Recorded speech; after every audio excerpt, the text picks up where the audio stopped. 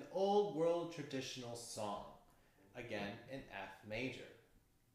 We have to make sure we play the low one here on the A string, the B flat. So that's all you need to necessarily remember. That happens in the one to the third measure and also happens in the 12th measure. And remember the cuckoo part.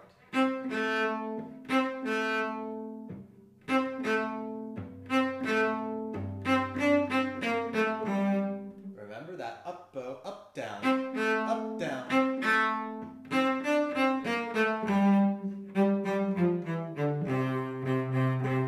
Legato. So, with explanations as we go, pickup note is always up bow, which is pushing to the left.